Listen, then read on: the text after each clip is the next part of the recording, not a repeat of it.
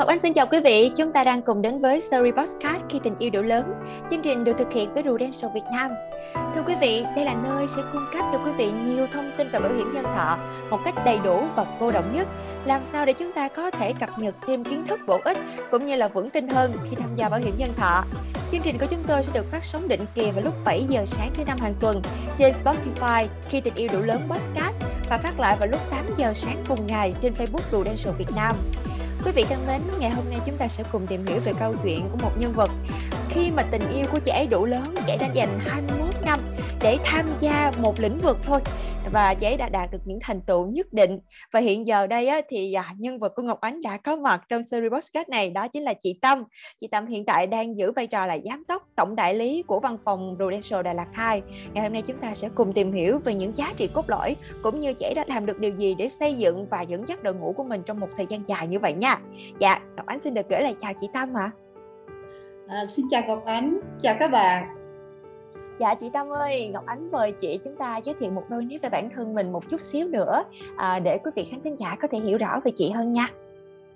À, à, tôi xin giới thiệu, tôi tên đầy đủ là Huỳnh Thanh Tâm, là giám đốc của văn phòng tổng đại lý của Prudential Đà Lạt 2 Dạ, em xin chào chị à, với một người chị rất là trẻ trung như thế này.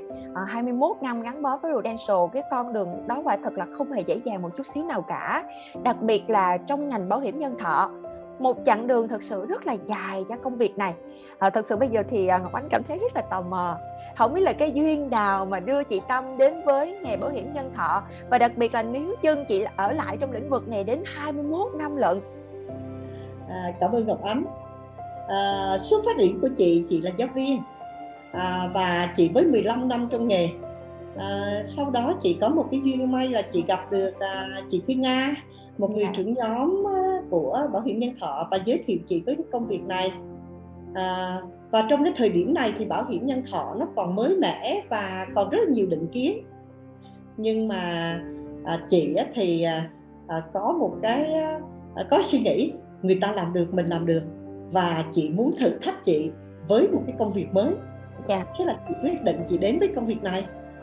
Giống như người đi tiên phong chị ha dạ mà đến ngày hôm nay rồi chị lại muốn quay lại dành một lời cảm ơn gửi đến với người trưởng nhóm của mình gửi đến chị Thuyên Nga à, chị đã đưa chị đến với một cái công việc để chị gắn bó đến ngày hôm nay à.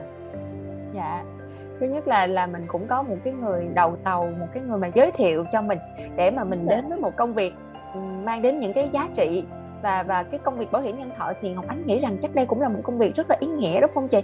Nó có thể uh, giúp được cho nhiều người nữa à, có phải đây là một trong những lý do mà giúp cho chị Thanh Tâm ở lại lâu như vậy đến 21 năm không chị?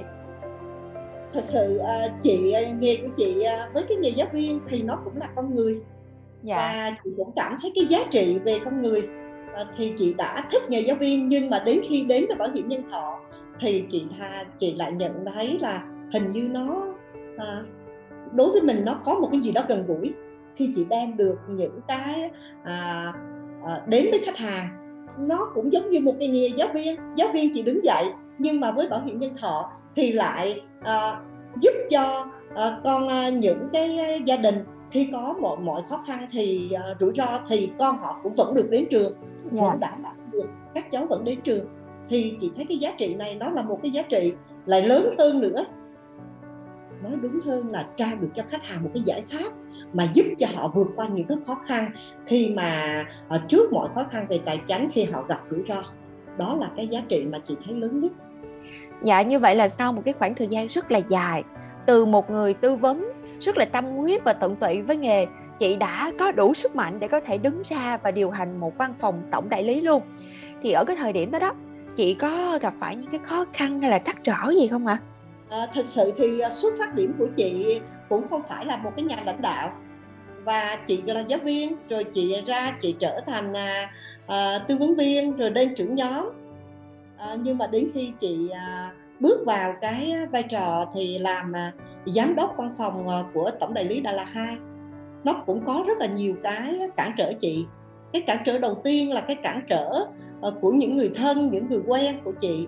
Họ nói chị làm không được đâu. Rồi gia đình cũng cảm thấy là ủa mắc cái gì mà mình phải gắn thêm một cái công việc như vậy? Chừng đó là đủ rồi. Nhưng mà dạ. chị à, cũng vẫn cái cái nội lực của chị khá mạnh. Cho nên chị cũng muốn thử thách và chị quyết tâm chị làm. Em muốn hỏi thêm một cái khó khăn khác nữa. Đó là cái việc mà mình mình tìm ra một cái hướng đi nào đó cho đội ngũ của mình. Cũng như là cái cái giai đoạn đó thì làm thế nào để chị vận hành được nhân viên của mình cái hệ thống của mình nó đi vào nề nếp để nó phát triển vững mạnh hơn. Trong khi chị có chia sẻ với em là chị chưa có những cái kinh nghiệm điều hành trước đó. Ừ, thật sự là khi công ty mà đã à, à, đón nhận để cho chị nhận cái vai trò này thì phải biết ơn công ty là công ty cũng có những cái chương trình để giúp chị. Và ngoài ra thì chị cũng có học hỏi thêm các à, JD ở đã đi trước. Mình cứ học thêm những cái kinh nghiệm à, rồi về lại chắc lọc lại để mà áp dụng vào văn phòng của mình. À, à, đó là cũng là một cái quá trình và cứ trải nghiệm. À, rồi sai rồi lại thay đổi lại học lại thay đổi. Và cái mà điều mà khó cái của chị cái khó nhất là cái về con người. Dạ. Lúc đó làm thế nào? Lúc đó mình chỉ có vì tình cảm thôi để mà mình làm việc. Thì làm việc với con người đối với chị với nhân viên đối với chị là một cả một cái thách thức. Thật sự là nhân viên của mình lúc đó thì mình cũng chưa có kinh nghiệm để tuyển dụng. Cái khó của chị gặp là cái à, cái cái mối quan hệ giữa nhân viên với dạ. nhau mối quan hệ giữa bản thân mình với mọi người mối quan hệ giữa tư vấn viên với à, với nhân viên ờ, với chính mình. Nó nó làm cho chị cũng gặp nhiều khó khăn trong giai đoạn đó Dạ chị Tâm ơi, ừ, với rất là nhiều những cái khó khăn như vậy thì à, chị đã lèo lái cái con thuyền uh, doanh nghiệp của mình, cái uh, văn phòng tổng đại lý của mình vượt qua nó như thế nào?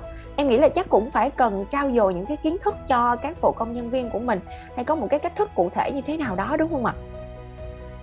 Thì uh, khi mà chị đón nhận uh, công ty thì uh, để thành lập công ty thì chị uh, bắt đầu uh, từ cái việc uh, chị học được học từ công ty chắc. Dạ. chắn công ty sẽ cho chị những chương trình học và chị cũng học thêm từ những cái người à, giám đốc đã, đã đi trước chị và chị tìm các cái cách nào đó phù hợp để đem về với văn phòng mình.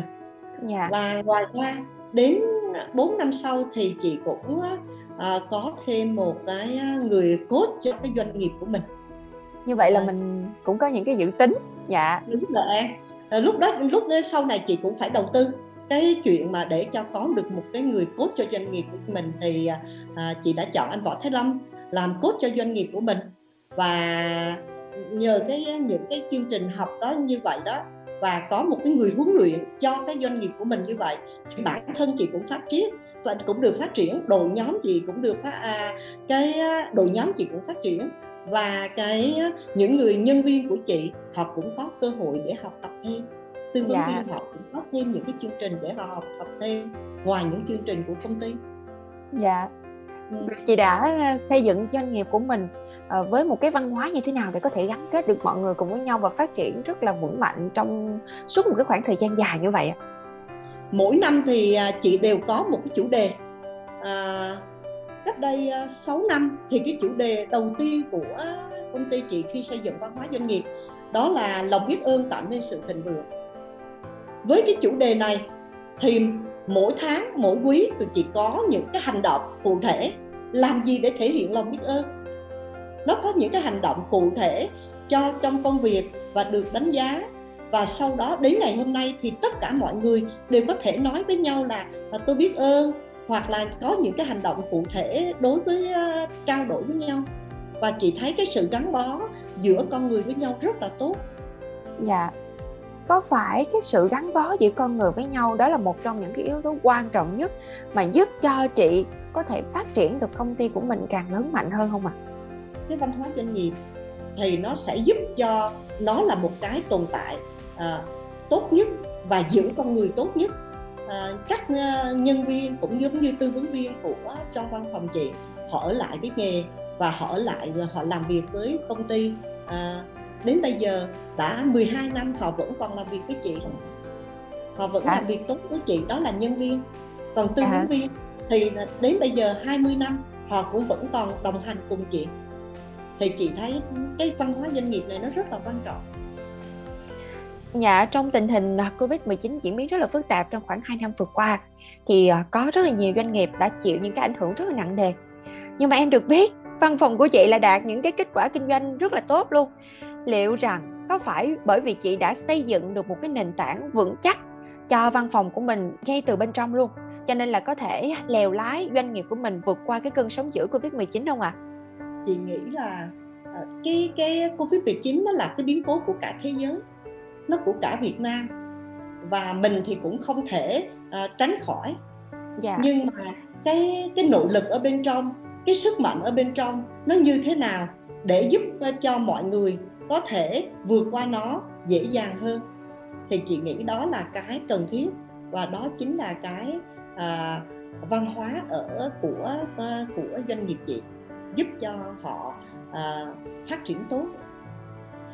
Dạ, sau tất cả những cái khó khăn cũng như là những gì đã đạt được vậy thì à, cái điều mà ngọc ánh rất là muốn được hỏi chị ngay lúc này đây đó là chiến lược trong thời gian tới của chị là gì để chị có thể tiếp tục đưa văn phòng của mình tăng trưởng mạnh mẽ hơn nữa. Ừ, văn phòng chị 20 năm thì chắc chắn phải có hai thế hệ. Một cái thế hệ của chị cái thế hệ 20 năm đã đồng hành 20 năm và bây giờ chắc chắn phải xây dựng một cái thế hệ trẻ. Thì à, ở văn phòng chị có sự chuyển giao thế hệ. Chuyển giao thế hệ nó nằm này này nó nằm ngay chính từ bản thân chị với con chị là một cái chuyển giao thế hệ. Nhưng cái thứ hai nữa là cái chuyển giao thế hệ của cái thế hệ của các tư vấn viên à, mà lâu năm với các bạn trẻ. Chị làm sao để gắn kết được hai thế hệ này với nhau? Để thành công thì ở văn phòng chị à, à, có một cái chương trình là chị à, các à, tư vấn viên lớn tuổi họ sẽ kết hợp với các bạn trẻ tuổi. Và chị có nói là các bạn tự các anh chị cô chú tư vấn viên lớn tuổi. Mở lòng ra bao dung để đón nhận các bạn trẻ đón nhận cái sức mạnh của thế hệ trẻ đón nhận cái à, công nghệ mà các thế hệ trẻ các bạn có thể làm được mà tụi chị không làm được. Và cũng mở lòng bao dung đón nhận cái nông nổi của các bạn trẻ. Và ngược lại các bạn trẻ sẽ à, kính trọng và trân trọng những cái giá trị mà các ờ, thế hệ đi trước ờ, đã có kinh nghiệm cũng như là à, cái giá trị mà thế hệ đi trước đã có được. Thì chính cái sự kết hợp này sẽ giúp cho khách hàng được chăm sóc và giữ gìn thị trường được tốt. Đó là cái mà à, định hướng của năm 2022 và, và chị đang thực hiện. Dạ, ngày hôm nay thì Ngọc Ánh trước là cảm ơn chị Tâm với những chia sẻ rất là tâm huyết, rất là nhiệt tình luôn. Bản thân Ngọc Ánh cũng là một người trẻ cho nên là Ngọc Ánh cảm nhận rất là rõ rệt và rất là khâm phục chị. Chị cũng là một cái người truyền cảm hứng cho em rất là lớn để em có thể phấn đấu nhiều hơn nữa cố gắng nhiều hơn nữa đạt được nhiều những cái giá trị cho cuộc sống của mình và cho những cái điều mình mong ước trong tương lai. Một lần nữa thì à, em cảm ơn chị Tâm rất là nhiều chúc cho chị Tâm thật nhiều sức khỏe. Chị và văn phòng Đà Lạt 2 của mình sẽ ngày càng phát triển hơn nữa trong năm 2022 này à, chị cảm ơn Ngọc Ánh và cảm ơn à, các bạn đã xem chương trình. À, chúc các bạn sức khỏe và bình an. Thưa quý vị và đến đây thời lượng dành cho số podcast ngày hôm nay cũng đã hết rồi. À, và chúng ta hãy cùng đón xem chương trình podcast khi tình yêu đủ lớn được phát sóng định kỳ vào lúc 7 giờ sáng thứ năm hàng tuần trên Spotify khi tình yêu đủ lớn podcast và phát lại vào lúc 8 giờ cùng ngày trên trang Facebook Prudential Việt Nam. Còn bây giờ thì Ngọc Ánh cũng như là chị Tâm xin gửi lời chào đến quý vị và hẹn gặp lại nhé.